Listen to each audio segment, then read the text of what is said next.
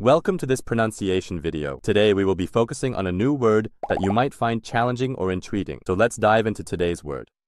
남자고, which means Men in Korean. let's say it all together. 남자고. 남자고. 남자고. One more time. 남자고. 남자고. 남자고. Thank you for joining us on this adventure in pronunciation. Remember, language is a journey, not a destination. Keep exploring, experimenting, and expanding your linguistic horizons. We'll see you next time.